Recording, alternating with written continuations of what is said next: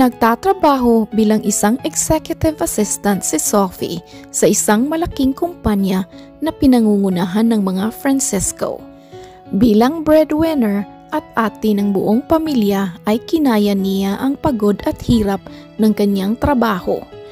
Minsan pa'y nakakakuha siya ng mga maaanghang na salita galing sa kanyang boss ngunit hindi na lamang niya ito dinibdibdib dahil kailangan niyang kumayod. Pinag-aaral niya ang dalawa niyang kapatid at kapwa na nasa high school ang mga ito. Wala na siyang ama at nagtitinda naman ng gulay ang kanyang ina. Hindi niya iyon ikinahiya dahil iyon ang dahilan kung bakit siya nagtapos sa kanyang pag-aaral at iyon din ang dahilan kung bakit siya nandito sa kinatatayuan niya ngayon. Ate Sophie, malapit na ang Christmas party namin. Gusto ko sanang bagong sapatos. Hiling ng kanyang lalaking kapatid na si Troy. Ate, ako din. Pero hindi sapatos ang gusto ko ha. I want new phone. Yung bagong labas po ngayon ate. Lahat po kasi ng kaklase ko may ganun na. Saad naman ni Mika. Hoy, kayo? Kung makapagsabi kayo ng mga gusto ninyo, akala nyo naman pinupulot lang ng ate Sophie nyo ang pera. Okay lang sana kung mura lang yang hinihingi nyo. Pagtutol ng kanilang ina. Ma, ayos lang po. May naipon pa naman ako dyan kaya wala pong problema. Nakangiting sabi ni Sophie. Naku, hindi. Hindi pwede yan ganyan. Matuto kayong magtipid. Hindi pwede yung naiinggit kayo sa kapwa nyo dapat kung ano ang meron kayo, makontento na kayo doon. At kahit pa may pambili ang atin niyo sa ganyan, hindi ko din papayagan. Mama naman eh. Nasasabi niyo lang yan kasi hindi pa kayo nagtatrabaho. Hindi niyo alam ang kahalaga ng bawat sintimo. Itong atin niyo nga, butas na ang sapatos pero sinusuot pa rin at hindi bumili ng bago. Kasi siya ang naghirap para sa perang inalalaan niya sa pamilya natin usal ng kanilang ina. Ah, fine ma. Hindi na po kami hihingi kay ate. Si mama talaga, iisa pa nga lang ang nasasabi namin, nakalima na siya. Pabirong wika ni Troy. Ay nako, kayong dalawa, makinig na lang kayo kay mama. Ika nga, papunta pa lang tayo, pabalik na siya. Wika naman ni Sophie na sinabayan pa ng tawa. Tatawa-tawa pa kayo dyan, Totoo ang lahat na sinasabi ko. Dapat nating pahalagahan kung ano ang meron tayo. Kasi ang ibang ngang pamilya hindi nakakain eh. Tapos kayo kung ano-ano na ang gusto nyo na hindi naman talaga kailangan. Oo na po ma, panalo ka na. Basta ito lang ang masasabi ko. Hanggat kaya ko pa, gagawin ko ang lahat maibigay lang ang nararapat na para sa inyo. Ate, wag naman ganon. Baka hindi ka na makapag-asawa niyan. Wika ni Troy na siyang ikinatawa ng lahat. Tinapos na muna nila ang kanilang hapunan saka isa-isa nang pumanhik sa kani-kanilang mga silid. Kinabukasan, nagising ng maaga si Sophie. May meeting nga pala ngayon ang boss niyang si Mr. Francisco. Kaya kailangan niyang pumunta sa opisina ng maaga. Naligo muna siya at nagbihis, saka ininom ang kanyang kape na nakahanda na sa mesa. Hindi pa ba nagigising si Troy at Mika ma? Hindi pa eh, mamaya pa namang 10am ang pasok nila. Ikaw, bakit ang aga mo yata ngayon? May meeting si Mr. Francisco ngayon eh. Kailangan kong mag-prepare at titingnan ko pa ang mga papers. O siya sige, Mabuti na rin pala at maaga akong nagising ngayon at napagtimpla kaagad kita ng kape. Pagkatapos niyang lunukin ang huling patak ng kaping kanyang tinutunga, ay nagpaalam na siya sa kanyang ina at naghintay na ng pwedeng masakyan sa labas. Pagdating niya ay binati kagad siya ng gwardya. Binati niya din ito at nginitian, saka sumakay na sa elevator paputang 8th floor. Huminto ito pagdating sa fourth floor at bumukas. Kitang-kita niya ang presensya ng napakagwapong binata na nasa kanyang harapan. Bumalik kaagad siya sa Wesyo at pumaligid habang palihim na sinusulyapan ang binata. Maya-maya pa ay namatay ang ilaw sa loob at huminto ang elevator. Oh great! Malumanay na sabi ng binata habang tinitingnan pa nito ang kanyang relo. Kaagad nitong kinuha ang kanyang cellphone at may tinawagan sa kabilang linya. This is Jameson. What is happening? I'm trapped here. Ilan po ba kayo nasa loob, sir?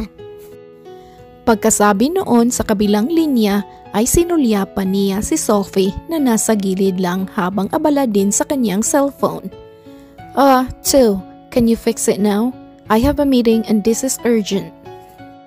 Ah, uh, sir, kasi po, may power interruption po kasi talaga this morning and we can't do anything about it eh, kasi this is beyond our control na po. Pagpapaliwanag ng nasa kabilang linya. Oh, gee, how long will it take? One hour daw po, sir. Tiim bagang pinatay ni Jameson ang linya at napahawak na lamang sa kanyang ulo. Pansin naman niya ang dalagang katabi na nakatingin na rin sa kanya. Kailangan pa nating maghintay ng one hour until the power is restored. Panimula niya. Ano?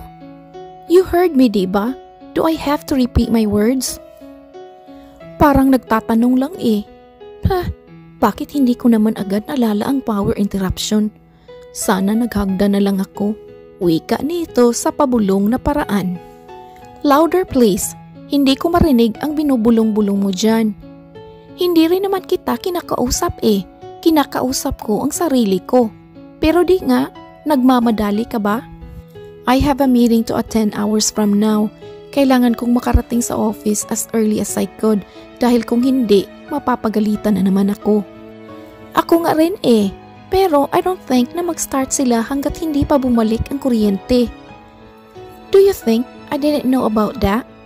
Sinabi ko lang naman, huwag kang masyadong masungit, kay aga-aga pa eh. Sige ka, papangit ang buong araw mo niyan. Wika ng dalaga. Ha, out of 100 people, dalawa lang kayong naniniwala diyan. One is my mom, nakangiti nitong sabi. Napangiti na rin si Sophie. Telabay nahawa agad siya sa matamis ng ngiti ng binata. Pinagmamasdan lang niya ang perpektong hugis ng mukha nito, matangos na ilong at mapupulang mga labi. Maya-maya pa ay nakaramdam na siya ng pangangalay kaya minabuti na niyang tanggalin muna ang kanyang suot-suot na pointed heels at napaupo sa gilid. Hey, what are you doing? Gulat na wika ng binata. Kung tatayo ka lang dyan ng isang oras, baka hindi na makondisyon ang mga paa mo mamaya sa meeting at hindi ka makapag-focus. Umupo ka na muna at mukhang magtatagal pa to. Wika naman ni Sophie. Oh, no way.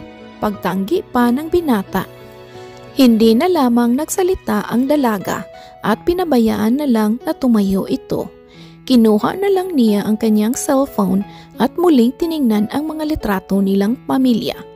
Maya-maya pa ay naupo na ang binata sa kanyang tabi. Sinulyapan niya ito at natawa. Ha! Akala ko ba final answer na yung no way mo? Pang-aasar ng dalaga. Maybe you're right. Nakakangalay nga itong ginagawa ko. Anyway, sino ba yung nasa gallery mo? Ah, ito, family ko. Nakangiti niyang sabi. You seem very happy there. Oo, kahit wala na si Papa, hindi pa rin nawawala sa mga labi namin ang mga ngiti. Kasi yun yung last wish niya eh, before siya na maalam. Kaya ito, masaya pa rin kami. Parang gusto mo namang ikwento na ang talambuhay mo. Baya, sana nga lahat ng family masaya no? Isang pilit ng ngiti ang ibinigay ng binata. Napansin naman ni Sophie ang malungkot ng mga mata nito kaya nag-isip na lamang siya ng ibang pwedeng mapag-uusapan. Ako nga pala si Sophie. Pwede mo akong tawaging Piang-Piang or Piang or Soft. I hate those nicknames. I'd rather call you Sophie. Do I have to introduce myself too? Siyempre, kailangan mo ring magpakilala no? You must show respect to one another. Okay, fine. I am Jamison. Bakong feel mo na mahaba ang name na yan, mas better ang gwapo. Gwapo? Bakit? Hindi ba ako gwapo? Hindi ba suitable sa akin ang pangalang yan? Wika ng binata na sinabayan pa ng malakas na tawa. Marunong ka palang mag-joke. Hindi obvious ah, natatawang sabi ni Sophie. Ah, nasa lima lang ang joke ko. Limited lang. Anyway, ano ba ang trabaho mo dito sa company ni Da? I mean, ng mga Francisco. Ah, executive assistant ako ni Mr. Francisco. Seven years na din ako nandito. Seven years? Ang tagal ah. How's your performance? Hindi ka ba ever pinagalitan ng boss mo? Siyempre naman, nalasahan ko na kung paano pagalitan ni Mr. Francisco. He's harsh. At kasalanan ko din naman kung hindi siya nasasatisfy sa trabaho ko. Ngingitian ko na lang kasi kung mahina akong tao, hindi hindi ako magtatagal dito. Tsaka bawal din kasi akong maging mahina eh. Breadwinner kasi ako. How does it feel to be you? Nakakapagod, pero nawawala ang lahat ng yun kapag nakikita ko na ang mga ngiti ni na mama at mga kapatid ko. You're such a strong woman pala. Bihira lang ako makinig ng talambuhay ha. Pangaasar nito. Nakakainis naman eh. Sige, hindi na lang ako magsasalita dito. Maya-maya pa ay nakaramdam naman ng antok si Sophie. Hindi kasi sapat ang nakuha niyang pahinga dahil matagal siyang natulog at maaga din siyang nagising. Bumalik siya sa wisyo nang magsalitang muli si Jameson. Available ang balikat ko kung inaantok ka na dyan. You still have 45 minutes left para matulog at babalik na ang kuryente maya-maya lang. Saad nito. Huwag na, okay na ako dito sa gilid. I insist, sige na para mas maging komportable ka sa pagtulog mo dyan. Huminga na lang ng malalim si Sophie at dahan-dahan na ngang isinandal ang kanyang ulo sa balikat ng binata. Saka ipinikit na ang kanyang dalawang mata. Habang si Jemison naman ay sinulyapan pang muli ang kanyang relo. Saka tiningnan ang natutulog na dalaga. Napatawa pa siya ng bahagya nang biglang marinig niya ang hilik ni Sophie. So innocent and gorgeous lady, yet ang lakas kong humilik. Natatawa niyang sabi. Nabali ang kanyang atensyon sa pangitaas na suot ng dalaga. Kitang-kita kasi ang dibdib nito, kaya napapikit na rin siya at hindi na malayang nakatulog na habang nakasandal din sa ulo ni Sophie. Ilang minuto pa ang lumipas ay bumalik na ang kuryente at biglang bumukas ang elevator. Gulat na gulat pa ang mga tao sa nakikitang eksena, lalong-lalo na ang right hand ni Jameson. Ngunit tumawa na lamang ito at pilit na ginising ang binata. Sir Jameson, dahan-dahang iminulat ni Jameson ang kanyang mga mata at napagtantong marami na palang tao ang nakamasid sa forma nila ni Sophie. Ginising niya naman agad ang dalaga at nagulat din ito. Saka dali-daling tumayo at inayos ang sarili. Pagpasok ng ibang tao sa elevator ay pilit pa rin na itinatago ni Sophie ang kanyang muka. Nahihiya siya. Pagdating nila sa 8th floor ay nagpahuli na siyang lumabas. Hindi niya alam kung ano pa ang mukhang maiharap niya sa lahat. Huminga na muna siya ng malalim, saka nagtungo na sa kanyang lamesa. Maya-maya pa ay nilapitan naman agad siya ng kaibigang si Meryl. OMG, as in OMG soft, kinikilig nitong sabi. Ha? Huhulaan ko kung ano na naman yan, another chika? Chika talaga at sa'yo manggagaling ang chika. Ano? Look, explain what happened here. Wika ni Meryl sabay pakita sa kanyang cellphone. Makikita doon ang isang video. Video iyon ng binatang si Jameson at si Sophie na parihong natutulog sa elevator. Nang laki ang kanyang mga mata sa nakita, napasapo na lamang siya sa kanyang ulo at umiiling-iling pa. Saan mo ba nakuha ang video na yan, Meryl? Eh sa internet, duh. Viral kaya kaya ngayon. At ito pa ha, ang daming negative comments girl. May mga positive din naman. pero ang daming negatron sa mundo ng social media. Comments? What are the comments? Kesyo, ambisyosa ka daw. Pilinggira, and all the kartihan comments are in. Gosh. Bakit naman sila magko-comment ng ganyan? Of course, girl, no. He is Jameson Francisco, the only son of Mr. Francisco. Lumaki ang mga mata ni Sophie sa narinig, bumilis ang tibok ng kanyang puso, bagay na nahalata naman ng kaibigan. Ayos ka lang? Hindi, hindi talaga. Buweset, ilang Ave Maria ba ang dadasalin ko, Meryl? Hoy, gaga, ano bang nangyayari sa'yo? Kasi kanina sa elevator, naingkwento ko sa kanya na masungit at harsh si Mr. Francisco. Nag-aalala niyang wika. Ano? Oh my gosh, Sophie. Kukunin ko muna ang rosaryo ko at tutulungan kitang magdasal ng limang Ave Maria at sampung ama namin. Patay na talaga ang kabuhayan ko ngayon, Meryl. Ampunin mo na lang ako.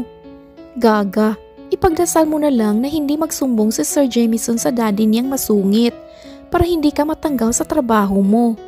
Okay, simulan mo nang magdasal ngayon, girl. Natigil sila sa kanilang pag-uusap nang biglang pumasok si Mr. Francisco sa silid.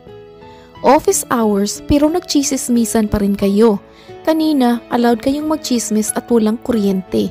Ngayon, may kuryente na. Magsibalik na sa trabaho. Galit nitong usal. Sophie, come to my office right now at may ipapacheck ako sa iyo before mag-start ang meeting. Muli nitong sambit.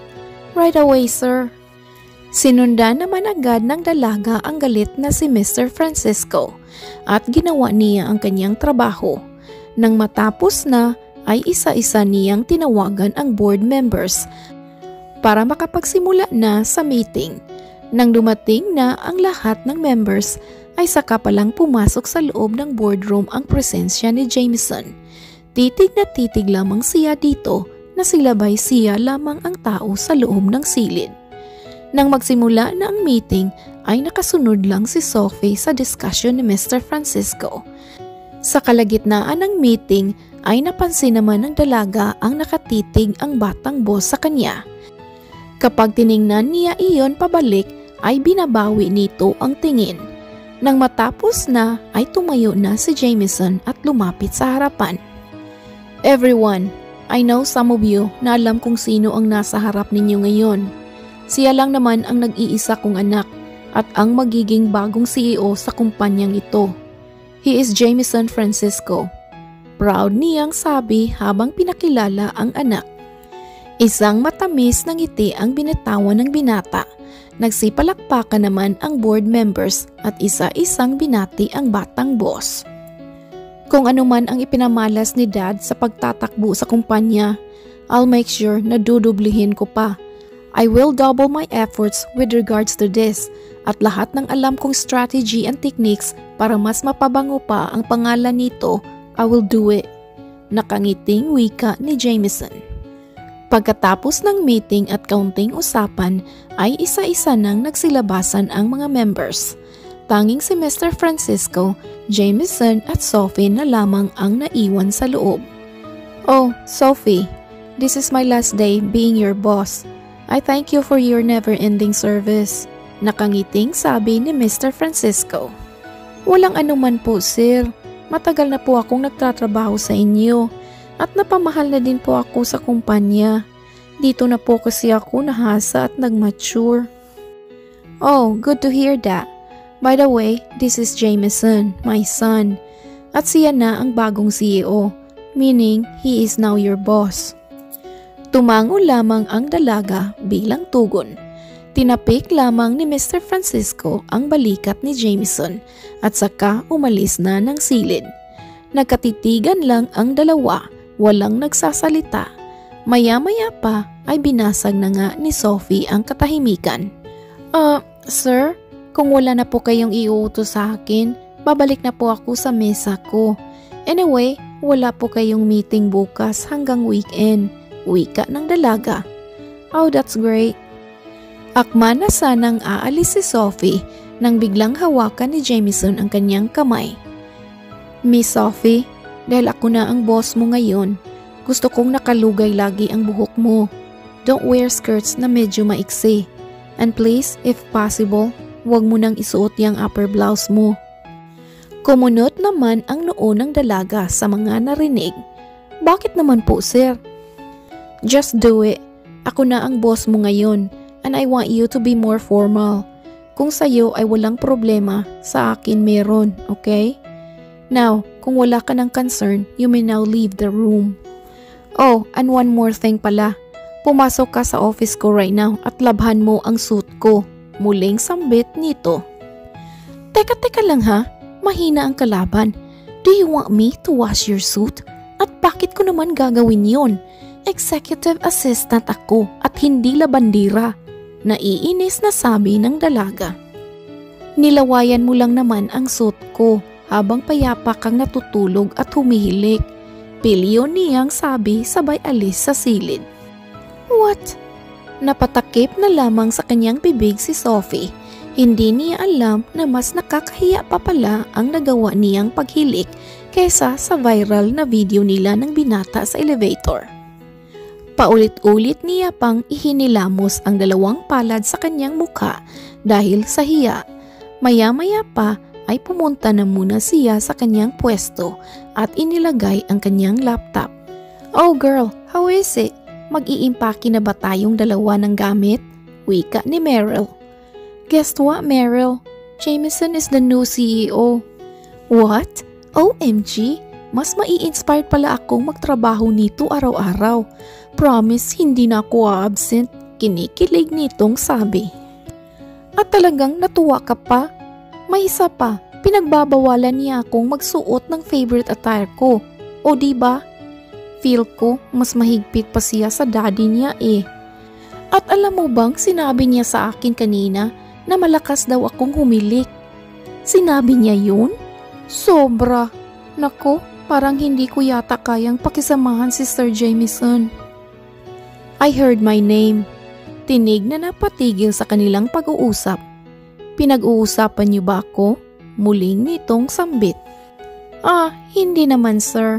Nabanggit ka lang namin kasi sabi niya ikaw na daw po ang bagong CEO. Nauutal na sabi ni Meryl. I don't really care kung ano or sino man ang pinag-uusapan ninyo. Time is precious at kung gusto ninyong makauwi ng umaga, finish your work early. So that means, kapag natapos na po ang trabaho namin within this day, pwede na po kaming umalis, sir? Yes, of course. I'm not dad na pagkatapos ng isang task, isang task na naman ang ipapagawa. Have time for yourselves pero kung may importante talaga tayong project na kailangang matapos agad, I'll ask for all of your cooperation na lang. Is that okay with you? Ayos na ayos po sir, sigaw ng lahat ng workers. Good idea po yun sir. At yung misis ko nagtatampo na, hindi na daw kami nagkakasama sa hapunan. Wika ng isang trabahante. Ganon ba? Anyway, just finish your work na lang and after that, pwede na kayong mag-out. Salamat sir. Salamat po talaga. You're welcome. By the way, Miss Sophie, I told you to come to my office, diba? You're 26 minutes late. Sige po, sir. Isisave ko na muna tong data at susunod na po ako sa inyo. Wika naman ni Sophie. Tatlong minuto bago umalis ang binata ay iniligpit na rin ni Sophie ang kanyang mga gamit.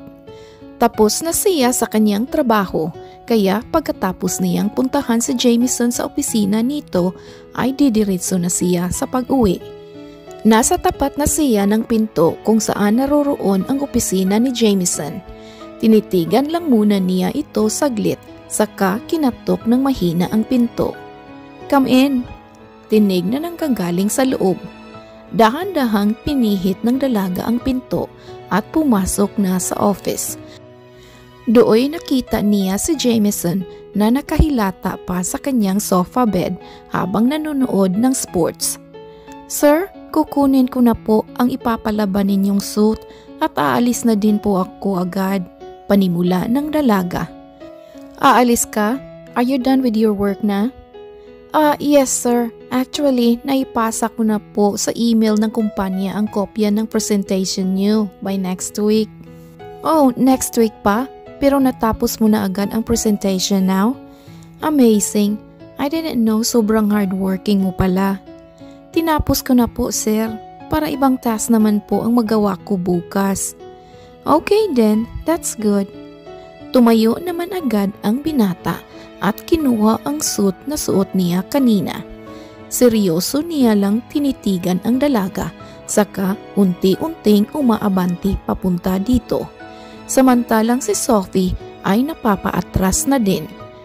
Napunta siya sa may pintuan at dooy natrap sa mismong mga bisig ni Jameson. Nabalot ang katahimikan sa loob ng silid. Tanging paghinga na lamang ng dalaga ang kanyang naririnig. Ah, uh, sir? Nauutal niyang sabi. Oh, nasaan na ang madaldal na Sophie? Nakakilala ko sa elevator kanina. Bakit natahimik ka bigla dyan? Panunokso nito. Ah, um, ano kasi sir? Hindi naman talaga ako madaldal Nagkataon lang talaga na naging ultimate tambay tayo sa elevator kanina, kaya napakwinto na ako. Ha, if that's so, bakit ka ba pawis ng pawis dyan? Sige na, ito na ang suit ko. Pwede ka nang umuwi. Nakangiti nitong sabi. Sige sir. Dali-daling umalis si Sophie sa opisina ng batang boss. Nang makasakay na siya sa elevator ay doon pa lang siya nakahinga ng malalim. Kinagabihan ay tinawagan niya ang kaibigang si Meryl. Open-minded kasi ito at siya lamang ang napagsasabihan niya. Oh, hello? Nakauwi ka na ba? Oo, kanina pa. Maaga kong tinapos ang trabaho ko para makauwi na ako. Bukas hintayin mo akong matapos ha. Huwag mo akong iiwan. Ha? Bakit? Bakit naman? Don't tell me may mumu sa office.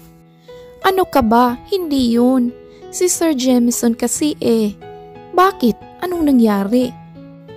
Kinuwento naman agad ni Sophie sa kaibigan ang lahat ng nangyari kani-kanina lamang. So you mean, munti ka na kayong magtsyogog ni Sir? Ano ba yung mga iniisip mo? Hindi. Ano lang, tinitigan niya ako. Tapos, yung mga titig niya parang na-hypnotize ako. Sabayan pa ng mga ngiti niya Naku, kung hindi ko lang talaga napigilan ng sarili ko kanina, bibigay na siguro ang katawan ko. Buwisit ka girl, opportunity na yun. Bakit hindi mo grinab? Ha? Anong opportunity? Ang sabihin mo, babay virginity? Ay nako, hindi ko pa kayang isuko ang pagkababae ko no? Siyempre, kung ako din naman ang nasa shoes mo, hindi ko rin isusuko no?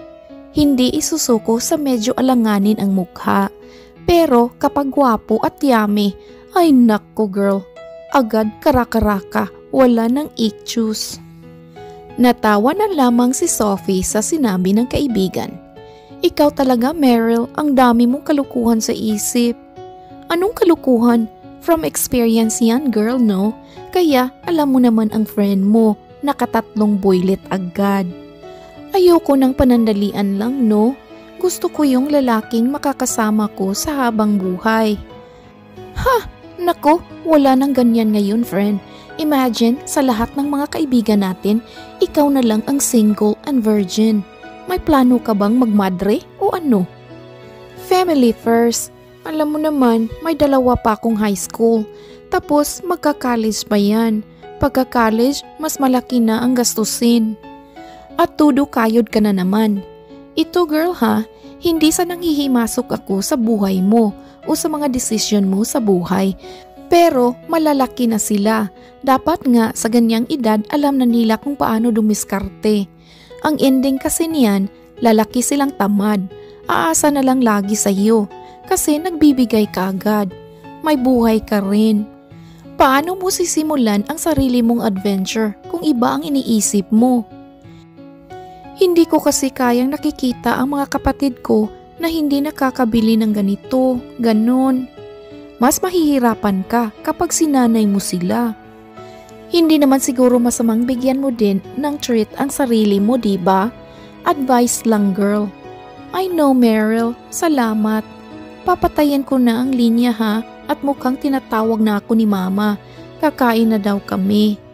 O sige Sof, see you tomorrow. Pinatay na ng dalaga ang linya at saka ibinagsak ang pagod na katawan sa kanyang kama. Kinabukasan, dating gawi, maaga na naman siyang nagising para makagayat din ng maaga at laging full ang mga pampasahirong sasakyan. Dali-dali siyang lumabas at umalis. Sa pagmamadali, nalimutan niya na palang inumin ang kanyang kape. Pagdating niya, ay nagtungo naman kaagad siya sa 8th floor at doon na lamang siya magkakape. Good morning, Sof. Bati ni Meryl. Good morning. May dala ka bang creamer dyan? Naku, wala eh. Sana tinitext mo ako para makapagdala ko. Nakalimutan ko kasing magkape sa amin eh. Di bali na, pupuntahan ko na muna si Sir Jemison sa kanyang office ha. Dali-dali niyang tinungo ang office ng binata Sakto namang paghipit niya ng doorknob ay lumabas din ito dahilan upang maglapit ang kanilang mga mukha. Sobrang lapit, animoy gagalaw ka lang ng kaunti ay maghahalika na. Natigil sila sa sinaryong iyon nang biglang tumunog ang tiyan ni Sophie. Tiyan mo ba yun? Uh, yeah, kasi sir hindi po kasi ako nakapagkapi sa bahay kanina kasi nagmamadali eh. Bakit ka na naman nagmamadali? Mahaba po kasi ang pila sa mga pampasahirong sasakyan, kaya kailangan kong maging maaga. Come inside at magkape ka. Naku, hindi na po sir. Lalabas na lang po ako sa building at bibili na lang po ako sa labas. I'm your boss, right? Do as I say. Pumasok ka na. Wala na ngang nagawa ang dalaga. Pumasok na siya sa loob at dooy nagtimpla ng kape. Muntikan niya pang mailuwa ang tinutunga nang maghubad ng pangitaas na damit si Jameson.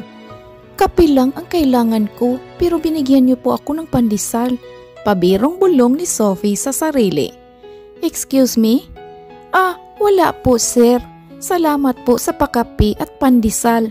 Ah, I mean, sa kape po, sa asukal, creamer at tubig. Nauutal na sabi ng dalaga. Ngumiti lang ang binata at lumapit kay Sophie. Binilisan naman ng dalaga ang pagtunga at lumunok ng paulit-ulit. Do you want to touch it? Romantiko nitong tanong. Ah, ang alin po sir? Yung sinasabi mong pandesal. Natatawa niyang sabi. Ah, si sir talaga, hindi mabiro oh. Sophie, I'm not joking. Don't you know, nasa minuminuto kitang nakikita. Gustong gusto na kitang halikan. Even right now, and I guess wala naman sigurong pipigil, di ba? Unless pigilan mo ko. Babalik na po ako sa desk ko, sir, ha? Salamat. Oh, okay. Lock the door. Po? Lock the door when you leave. Ah, oo nga po. Tumawa na lamang ang binata pag-alis ni Sophie at saka isinuot ng muli ang kanyang damit, saka bumalik na sa kanyang trabaho. Kinahapunan, abala pa rin si Jameson sa pagre-review ng mga documents na kailangan niyang isama sa kanyang presentation nang may kumatok. Come in. Sir Jameson, pwede na po ba akong umuwi?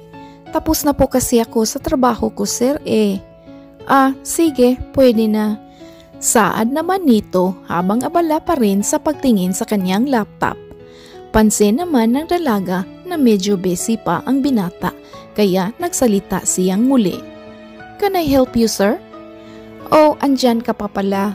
Hindi na, you can go na at kaya ko naman itong i-review. Ang alin po sir? Presentation ko next week. First presentation ko kasi ito at dapat prepared ako. Ito ang pinangako kong serbisyo sa kumpanya bilang bagong CEO. Hay, tulungan ko na lang po kayo dyan. Ako na po ang bahalang mag-edit, sir. Are you sure? Ngumiti lamang ang dalaga bilang tugon.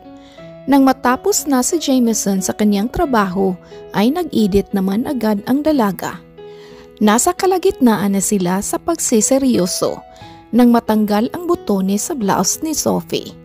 Tumikhim pasaglit ang binata, uminom ng tubig, tumayo, ibinaling ang atensyon sa ibang bagay, ngunit may nagagalit talaga. May nagagalit sa ibang parte ng kanyang katawan. Hindi na siya nakapagtiis at hinila niya ang dalaga sa kanyang sofa bed at dali-daling tinanggal ang suot. What are you doing? Just stay still. Madali lang to. Mukhang alam na nga ng dalaga ang mangyayari, ngunit wala siyang sapat na lakas para tumutol. O sa madaling sabi, hindi niya kayang tanggihan ang mga galaw ni Jameson. Jameson, hindi ba yan masakit? Ano kasi eh? Ha? Oh, masakit. Pero ito lang ang masakit na masarap. Gusto mong i-try with me? Right here? Right now. I'll promise I'll be gentle. Malumanay nitong sabi. Pumikit na lang ang dalaga bilang tugon at nangyari na nga ang hindi dapat na mangyari. Tuluyan na nga niyang isinuko ang bandera sa lalaking simula pa lang ay attracted na siya. Ngunit hindi lang noong araw naganap iyon, nasundan at nasundan pa Tuwing umaga at gabi kapag pumupunta si Sophie sa opisina ni Jameson, ay pumupunta din sila sa lugar ng karupukan at kaligayahan. Sa ilang araw na magkasunod nilang ginagawa ang senaryong iyon ay ang namuong pagtitinginan nila sa isa't isa. Hatid sundo na rin ng binata si Sophie na siyang dahilan ng mga bulong-bulungan sa kumpanya. Hoy Gaga, ano yung naririnig kong chika na palagi na daw kayong magkasama ni Sir Jameson? Is that true? Wika ni Meryl. Totoo naman din kasi yun, kaya hindi na ako naaapektuhan sa mga chismis. OMG, wag mong sabihin na may nangyari na din sa inyo ni Sir. Tumango lamang ang dalaga bilang tugon. Hala, hala girl, at talagang hindi lang pandesal ang nakain mo, pati cheese dog. Natigil sila sa pag-uusap nang biglang makaramdam ng pagkahilo si Sophie. Nasusuka din siya kaya dali-dali niyang tinungo ang banyo. Friend, ayos ka lang ba? Oo, just ignore it. Lately kasi nahihilo na din ako kaya medyo nasanay na ako. Oh no, hindi kaya may laman na ang tiyan mo? Hindi naman siguro. Magsisick leave na lang muna ako para makapagpahinga. Hoy girl, Ayusin mo yan ha? Knowing may nangyari na sa inyo ni Sir Jameson, hindi mo maikakailang hindi ka buntis. I just hope hindi Meryl. Paano na lang ang pamilya ko? Ano ka ba? What if meron nga talaga? What's your plan? Sasabihin mo ba kay Sir?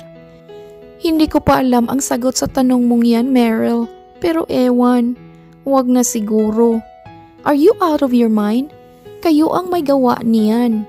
So dapat kayo din ang mag-alaga, hindi yung ikaw lang. Pupuntahan ko na muna siya sa office. Pagpasok ng dalaga sa opisina ni Jameson ay sinabi niya kagad dito. Naliliban na muna siya ng isang linggo sa trabaho at wala talaga siya sa kondisyon. Ang nag-aalalang binata ay gusto pang dalhin sa doktor si Sophie ngunit tumanggi na ito at umuwi ng mag-isa. Ilang araw pa ay nagsunod-sunod na ang pagkahilo at pagsusukan niya. Naaalala naman nito ang sinabi ni Meryl kaya kagad siyang nagbihis at nagpunta sa malapit na bilihan. Dooy pumili siya ng pregnancy test kit at itinago sa kanyang bulsa nang makauwi. Tahimik lang na tinitigan ni Sophie ang limang pregnancy test kit na nasa kanyang harapan. Magmula kasi nang maalarma siya na baka siya ay buntis, bumili na kagad siya nito at may dalawang linya ang lahat ng resulta. Nangangahulugan lamang na positive ito. Napatigil siya sa kanyang pag-iisip nang marinig niya ang pagparada ng kotse sa labas ng kanilang gate. Tumayo siya at sinilip kung sino iyon. Nanlaki ang kanyang mga mata nang malamang si Jamison ang naroon ang batang boss sa kumpanyang pinagtatrabuhuan niya. Dali-dali siyang pumanhik sa baba at dooy kausap na nito ang kanyang ina. Oh, hi. I thought you're sick and can't able to walk. Are you okay now? Panimula nito. Ah, medyo maayos naman ako ngayon. Pwede ka nang umuwi. Sophie, hindi ganyan ang pag-asal sa binata. Dito ka naman ang halian, iho, at dadamihan ko na ang niluluto ko. Wika naman ng kanyang ina. Oh, thanks po, tita. Pero mukhang ayaw po yata ako ni Sophie dito eh. I'll go na lang. Pagpapaawa pa nito. Ay, hindi. Huwag mo nang intindihan niyang anak ko. Pumarito ka na muna at nagabala ka pang sadyain ang anak ko dito. Akma na sanang hahakbang pababa si Sophie nang biglang mahulog ang piti na nasa kanyang bulsa. Dali-dali niya iyong kinuha at itinago pero huli na ang lahat. Nakita na iyon ni Jameson at ng kanyang ina. Isang pilit ng ngiti na lamang ang kanyang binitawan. Paano niya kaya ngayon ipapaliwanag na buntis siya at ang kanyang boss ang ama? Buntis ka, Sophie? Ma, let me explain.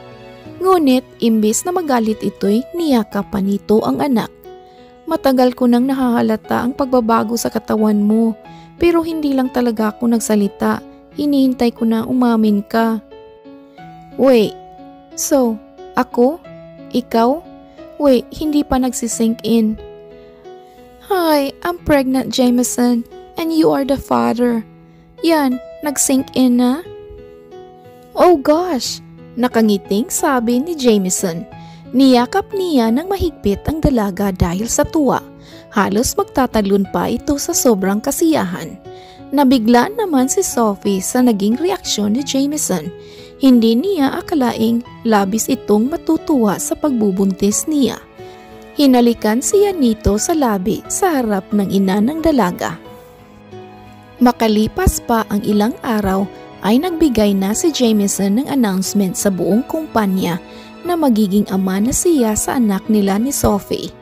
Nakilala naman ng dalaga ang pamilya ni Jameson at butong-buto ang mga ito sa kanya, lalong-lalo na si Mr. Francisco na masungit lang pala sa trabaho ngunit may mabuting kalooban naman pala. Nagplano silang magpakasal pagkatapos manganak si Sophie kaya kahit may sponsor na sila sa kasal ay tudo kayod pa rin si Jameson. Gusto niyang pinakamangganda sa lahat ng weddings ang kasal nila dahil para sa kanya, the mother of his baby deserves the best. Ngayon, hinihintay na lang nila ang paglabas ng kanilang baby boy na pinangalanan nilang Jason Francis upang masimulan na nila ang susunod na kabanata ng kanilang buhay. The end. Oh wow! Napakaganda, napakakulay ang story nila. I like this one too. Oh my! Alright mga kaibigan, I hope you enjoyed this story. Uh, thank you Regine Garciano for writing this awesome story. Um, thank you also mga kakulay subscribers and listeners. Well, kung hindi pa kayo nakasubscribe, please subscribe and click the bell. This is Ethel McMenamin, your narrator, saying, Bawat buhay ay may kulay. Thank you and take care. See you sa next story. Bye!